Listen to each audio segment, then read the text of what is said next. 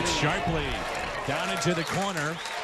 And this will make it a 5-4 St. Louis lead. RBI double for Stanton. Be curious to know the exit velocity on that one. Mm. Well, it was 97 coming in, and it was more than that coming out.